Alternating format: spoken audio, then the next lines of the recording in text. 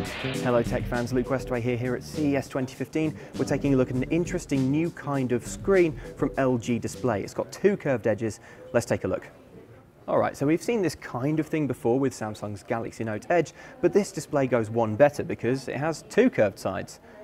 So what we've seen so far is that these curved displays basically become second screens with things like notifications or quick access to icons. Plus, it's very sci-fi. It makes your phone look cool.